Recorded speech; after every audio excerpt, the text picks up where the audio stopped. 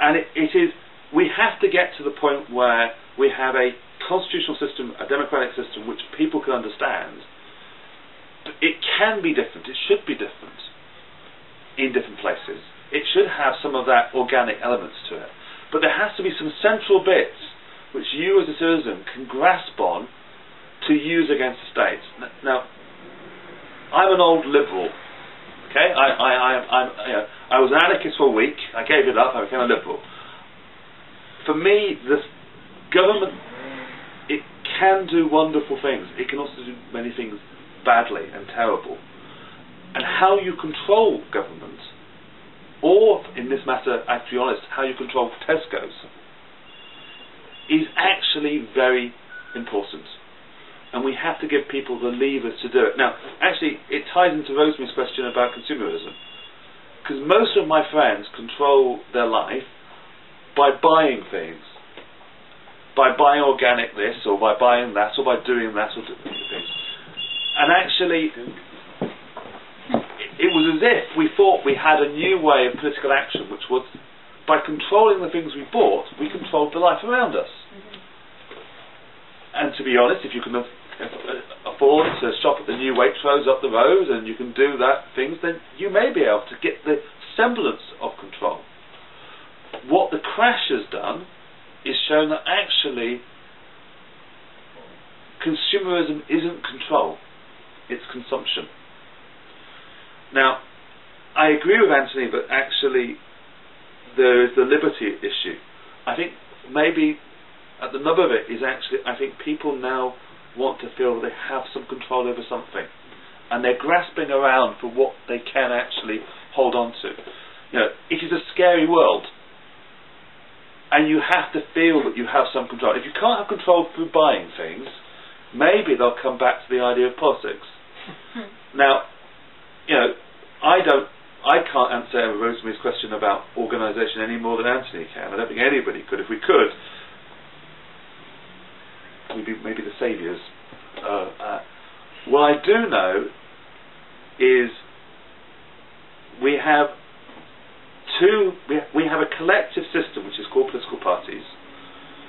And I'm someone who works in parties and know, you know, like people in parties. I, you know, I understand them. I also recognise that they're dying. We haven't found a replacement for them.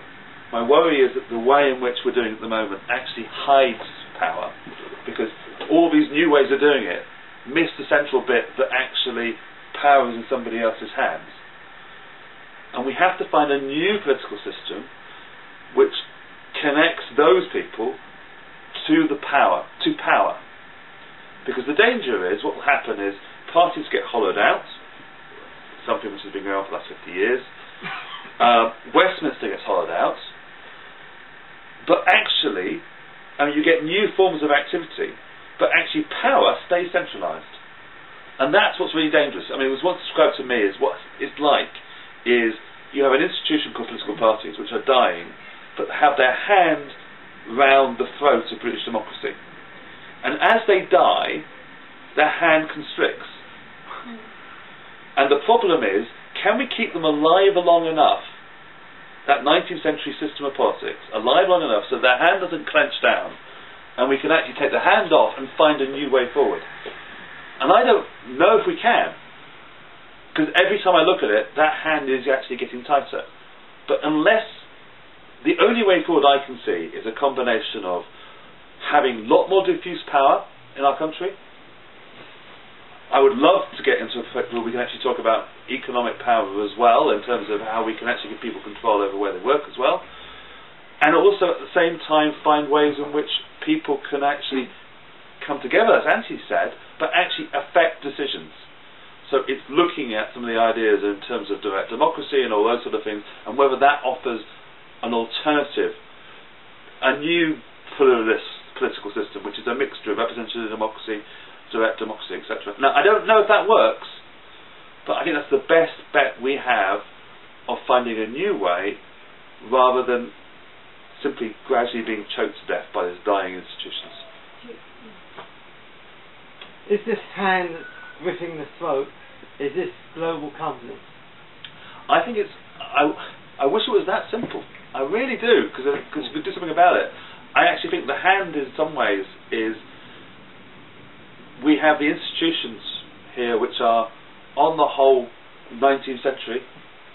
We have a modern world which doesn't fit reflect it in it, and people are trying to control it. And for me, that, that, those hands are our parliament. That hand is our parliament. It is our political parties. It is our political class. It is the media. It is the and, and as it it tries to control more, and it's dying. It, it's throttling it. I'm not an anti-global.